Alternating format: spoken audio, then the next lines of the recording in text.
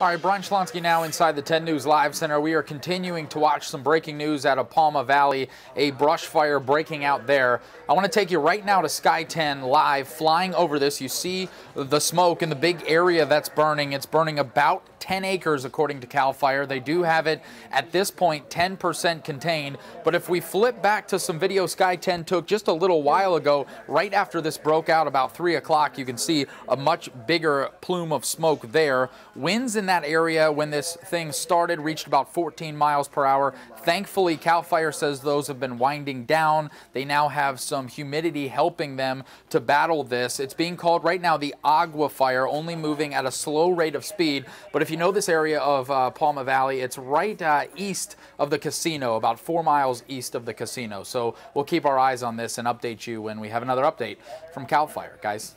All right. Thanks, Brian.